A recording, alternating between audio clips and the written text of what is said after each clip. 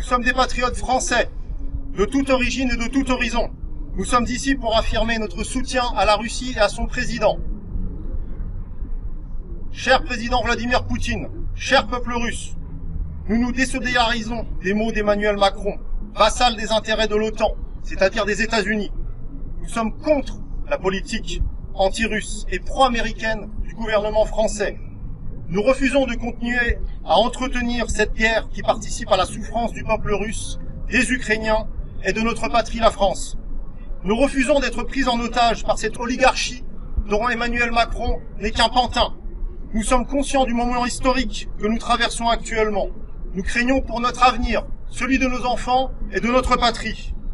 Nous souhaitons que se rétablissent des relations saines et amicales entre nos deux nations sœurs que sont la France et la Russie, pour une Europe s'étendant de Brest à Vladivostok.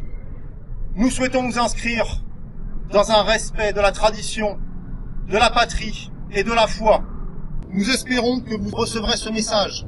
Nous avons besoin d'un homme fort comme vous, président Vladimir Poutine, d'un homme de votre charisme et de votre dimension.